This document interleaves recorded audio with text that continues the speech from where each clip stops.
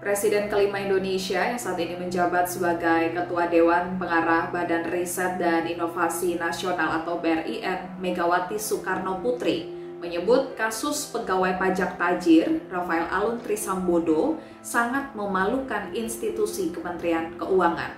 Megawati mendukung Menteri Keuangan Sri Mulyani agar kasus tersebut diusut hingga tuntas. Dukungan tersebut diungkapkan Megawati saat memberikan sambutan usai mendapat penghargaan dari Kementerian Hukum dan HAM sebagai tokoh pendorong kemajuan haki di kantor BRIN Jakarta pada Rabu 1 Maret 2023. Megawati pun menutup sambutannya dengan menyinggung bersih-bersih di birokrat pemerintahan Indonesia.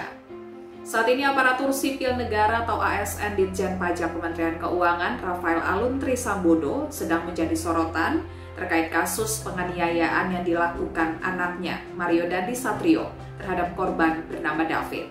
Harta Rafael Alun pun langsung menjadi sorotan masyarakat terlebih sang anak kerap memamerkan gaya hidup mewah di media sosialnya.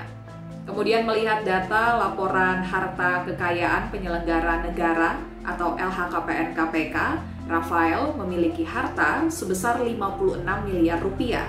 Rafael pun saat ini sedang dimintai klarifikasi oleh Komisi Pemberantasan Korupsi atau KPK terkait harta kekayaannya.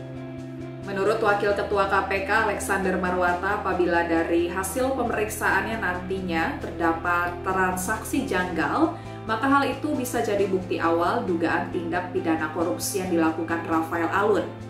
Alex Marwata mengatakan bahwa banyak pejabat memiliki harta yang tidak sesuai dengan profilnya. Besaran kekayaan mereka dinilai tidak cocok dengan penghasilan yang sebagai aparatur sipil negara. Sementara itu atas kasus penganiayaan sang anak, Rafael sudah dicopot dari jabatannya sebagai pejabat eselon 3 yang menduduki posisi sebagai Kepala Bagian Umum Ditjen Pajak Kantor Wilayah Jakarta Selatan 2.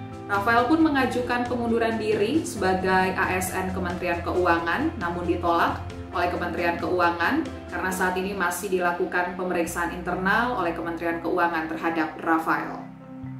Saya bisik sama Bu Menteri, saya 100% mendukung beliau atas kejadian yang menurut saya sangat memalukan mengenai masalah keuangan di bidang pajak harus dijalankan.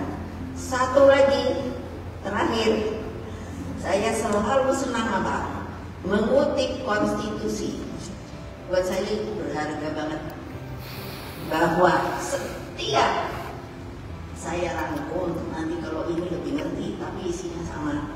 Setiap warga negara mempunyai hak yang hak hak hak tidak laki, tidak perempuan, tidak tua, tidak anak-anak, tidak miskin, tidak kaya, tidak cacat dan lain sebagainya, mempunyai hak yang sama di republik ini. Kalau benar mau itu media, kenapa?